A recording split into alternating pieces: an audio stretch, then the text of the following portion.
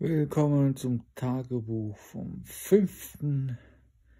September und es war ein.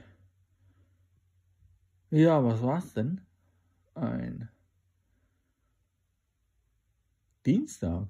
ja, ein Dienstag.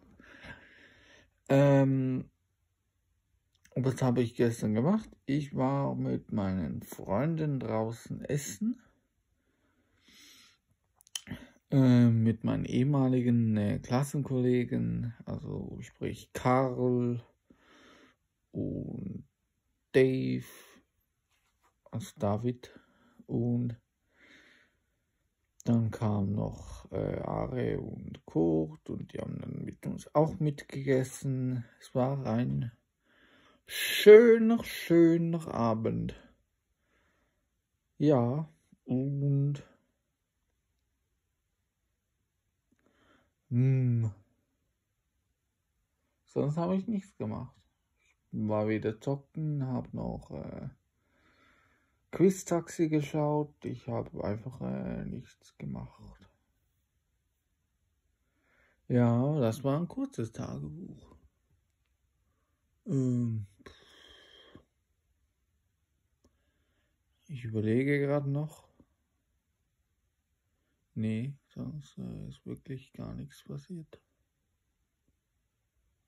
Nee, von den äh, News her war Erdogan wieder mal bei Putin in Sochi, um den äh, Getreidedeal zu verhandeln.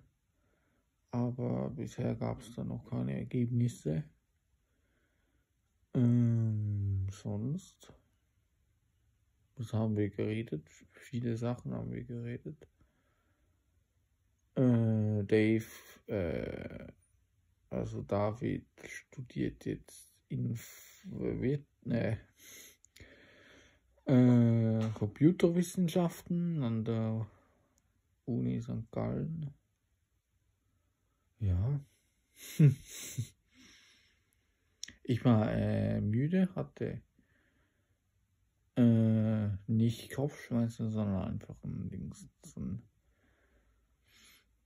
ja, wie sagt man, einfach so einen schweren Kopf. Und ja, also ich glaube, man merkt, äh, heute habe ich ihn auch, wo ich das Tagebuch aufnehme, deshalb ähm, sechs. Ja, sechs von zehn Punkten würde ich geben für den 5. September.